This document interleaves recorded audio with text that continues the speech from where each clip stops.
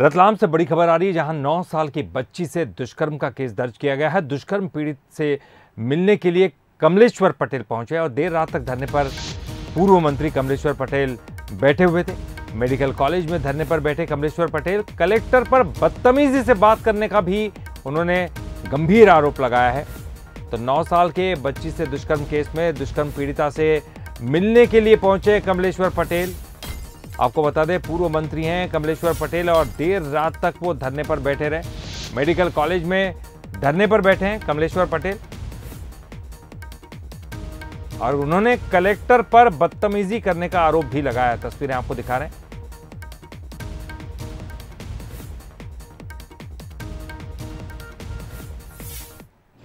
घर से उठा के एक मासूम बालिका को ले जाता है। उसके साथ कुकृत्य करता है, उसके साथ मार पिटाई भी करता है। इतने जघन्य अपराधी के खिलाफ इतनी मानवता क्यों दिखा रहे भाई जिला प्रशासन? किसकी से है? कौन संरक्षण दे रहा है? क्या भाजपा के नेता संरक्षण दे रहे हैं? सरकार संरक्षण दे रही है?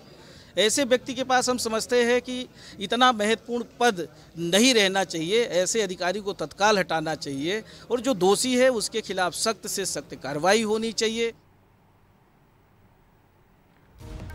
तो सख्त सख्त कार्रवाई की बात कर रहे हैं। पूर्व मंत्री कमलेश्वर पटेल जो कि दुष्कर्म पीड़िता से मिलने के लिए पहुँचे नौ साल की बच्ची है और देर रात तक धरने पर बैठे हुए और हमारे संवाददाता दिलजीत सिंह और अधिक जानकारी देंगे। दिलजीत क्या जानकारी मिल रही है? क्योंकि लंबे समय तक ये धरने पर बैठे हुए प्रशासन की तरफ़ से कोई आ, इनकी बात सुनने वाला दिखाई दिया? जी हाँ जैसा कि मैं आपको बता दूँ कि कमलेश्वर पटेल जो है, आज जो पीड़िता है, उससे मिलने, वो उसके परिवार से मिलने मेडिकल कॉलेज पहुँचे थे। जब परिवार से उन्होंने चर्चा करी और उनको, जब सुविधाओं की बात उनसे चर्चा हुई तो उन्होंने बताया कि उन्हें कोई भोजन की व्यवस्था नहीं हुई है, उनकी कोई सुनी नहीं है और अभी तक उनकी कोई सहायता राशि नहीं मिली है।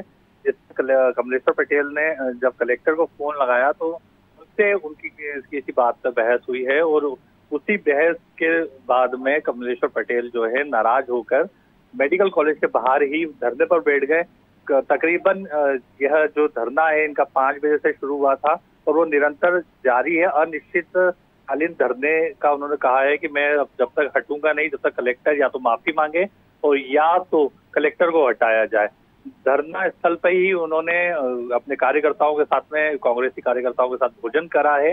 और वो अभी धरने पर अटूट रूप से बैठे हुए हैं। चलिए, बहुत बहुत शुक्रिया करेंगे दिलजीत इस पूरी जानकारी के लिए आपका। तो हमारे रतलाम के संवाददाता बता रहे हैं कि लगातार जो है पूर्व मंत्री कमलेश्वर पटेल धरने पर बैठे हुए हैं और वो अपनी मांग पूरी होने की बात कर रहे हैं, जब तक उनकी मांगे नहीं मानी जाती, क्योंकि जिस तरह की बात की जा रही थी, प्रशासन का कोई भी व्यक्ति उनसे मिलने के लिए अभी तक नहीं पहुँचा है।